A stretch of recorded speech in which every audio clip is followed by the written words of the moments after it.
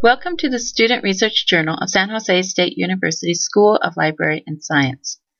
SRJ, pronounced SURGE, is an open access, peer reviewed, and student governed publication. SURGE publishes two issues a year, one in the fall and again in the spring. The next issue will be published in December of 2013. Topics in all fields of information science theory, application, or practice are covered.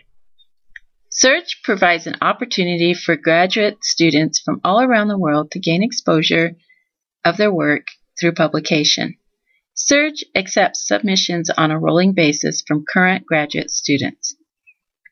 SURGE's editorial team has six content editors, two copy editors, a managing editor, and an editor in chief, all of whom are library and information science graduate students at San Jose State University.